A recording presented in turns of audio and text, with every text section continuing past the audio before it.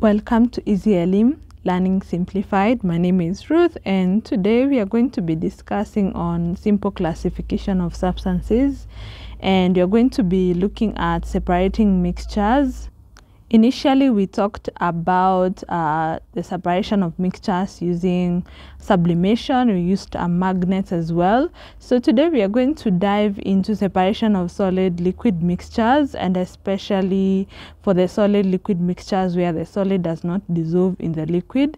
And then we are going to see different ways of separating this mixture, the um, different alternatives and the best alternative out of those alternatives. So let's begin. So we'll start first by defining a few terms. So substances that dissolve in a liquid are usually referred to as soluble, while substances that do not dissolve, we call them insoluble. So there are some substances, if you put them in a liquid, they are going to dissolve, and then other substances if you put them in a liquid they're not going to dissolve for example if you put sand in water it's not going to dissolve so we'll call it insoluble if you put sugar in tea, for example, and then you stir the solution, you notice that the sugar is going to dissolve in the tea. We usually refer to sugar as soluble. So when a substance dissolves in a, in a liquid, the substance is usually called the solute.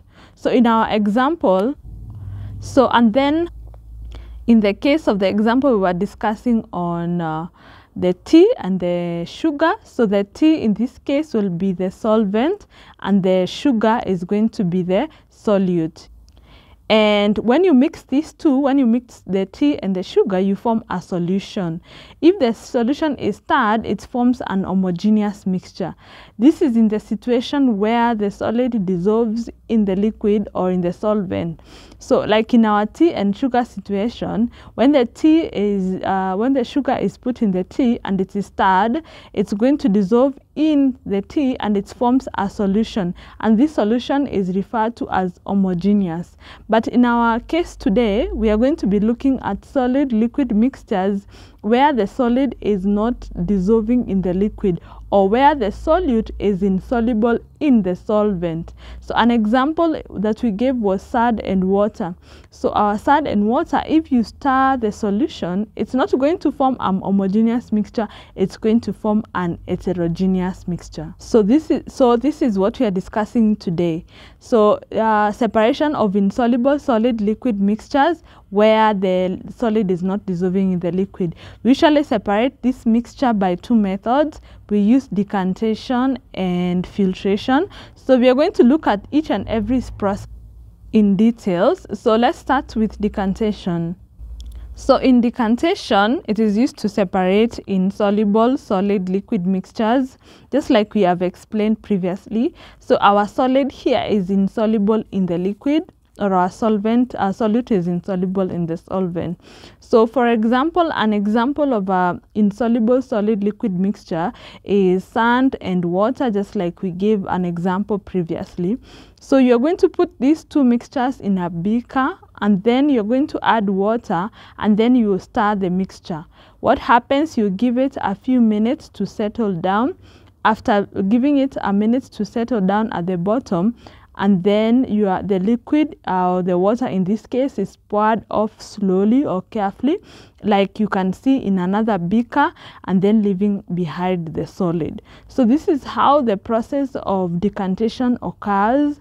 It requires you to um, allow the solution to settle or the mixture to settle before you start pouring out the liquid. So this method has its own disadvantage in that sometimes when you are decanting, some of the solute may uh, be uh, decanted or it might go into the beaker. It is not very efficient because some of the solids may come along with the liquid when you are pouring, especially if you are not that careful. So we usually use filtration method as an alternative to this method. So let's go, let's look at filtration. So filtration is a separation of an insoluble solid from an heterogeneous mixture, in this case uh, from a solvent. And our example was water and sand. So we are removing sand from the uh, muddy water or the solution that has formed from the mixture and then uh, in filtration usually use something referred to as a filter paper. So when you are pouring the water the mixture on the filter paper some of the solid might be left on the filter paper. We refer to them as residue. And then the liquid that passes the filter paper is called a filtrate a common example of this uh, process is when we are filtering tea leaves from tea when we are cooking tea.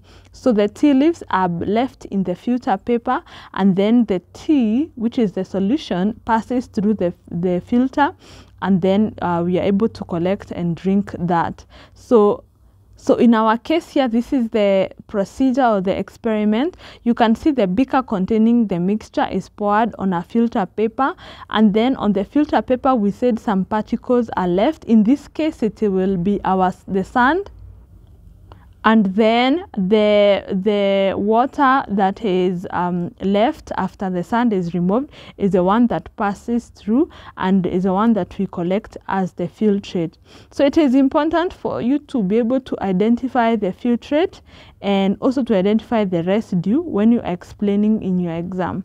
So it needs to be very specific so this procedure has an advantage because the solid particles do not get an opportunity to pass through.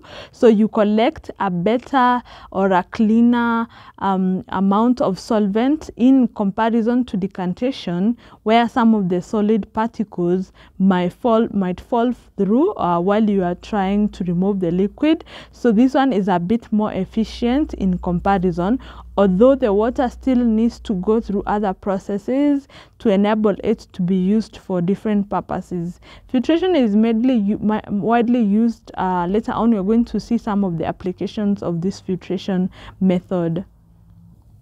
So one of the application is the filtration of domestic water. As I said before, the water that is um, acquired through filtration is not always clean for it cannot be used for drinking or cooking. It needs to undergo other processes that makes it uh, safe for the human consumption although filtration allows the solid particles or the big particles to be removed um, and therefore even gives it an opportunity to undergo the other processes. It also is used for the extraction of medical substances from plants and also it is used for extraction of sugar from sugar cane uh, in sugarcane industries and, and it's also used in it is the operation that occurs in vacuum cleaning and finally it is used in fuel filters in automobile engines. Filtration is a very widely used uh, process although it always uh, is used together with other processes even in those uh, processes. So let's look at one question. Explain how a mixture containing sand, iron filings and anhydrous iron 3 chloride can be separated. So when you look at this question, you have been told to explain, meaning there is a procedure required. And what procedure is required? How do we remove sand from this mixture? How do we remove iron filings from this mixture? And how do we remove anhydrous iron 3 chloride from this mixture? So remember when we were discussing the introduction bit of mixtures, we said the first method was remove solid, solid, mixtures and our solid solid mixture in this case had two processes which was use of magnet or sublimation so use of magnet comes uh, before uh, sublimation because in sublimation there is use of heat. We do not want to start heating fast because it might interfere with the reaction. So the first thing that we are going to do is uh, put a magnet and hover a magnet over the mixture to allow the iron filings to be attracted. And then after the iron filings are removed, we are left with sand and anhydrous iron 3 chloride. We said anhydrous iron 3 chloride forms part of the compounds that sublime when heated.